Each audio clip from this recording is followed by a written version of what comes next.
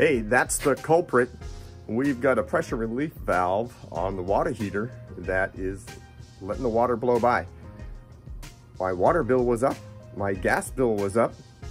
Makes me wonder, so we take a look at it. So on the water heater, the cold water comes in at the bottom here, warms it up, and then the hot water comes out here. And then every water heater has a safety relief valve, high pressure, high temperature valve.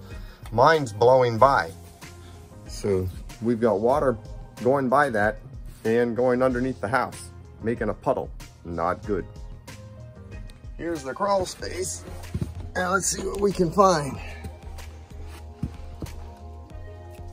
Way back in the corner there. You can actually, looks like a steady run. And look at this, there's a puddle right there. Not and good. Just what we need, water shut off, right here. Let's start the repair. We start by hooking a hose on to the drain and open this up and start drawing some water out of here. That's gonna dump out over here. Now that we're draining, we're gonna take off the overflow pipe.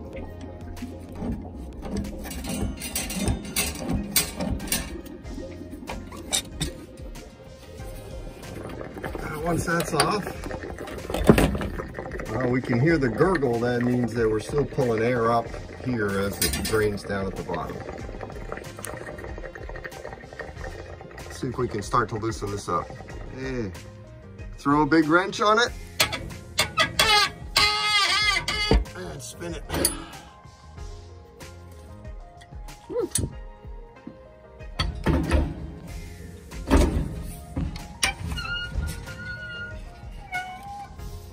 Now we can spin this out of here. Ooh, baby, look at the corrosion on that. I wonder why it wasn't sealing well. Welcome to Home Depot.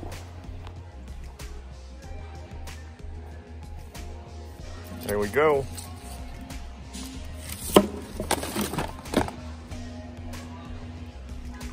That's the fix. We've got three good wraps of Teflon tape on the valve. Slide it in here.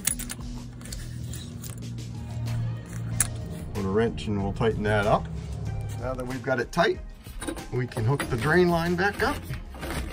No sealant required on that. Come on, baby, start in there.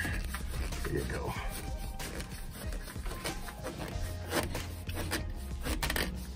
And uh, let's turn the water on. Turn the water back on. And we're filling the water tank back up. And we can hear it filling up.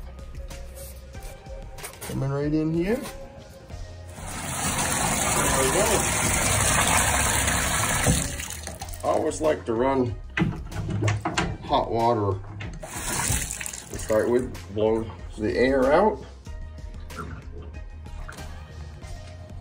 Well, here we are, successful pressure relief valve change out. The water heater's getting warm again. So, hey, keep it right side up.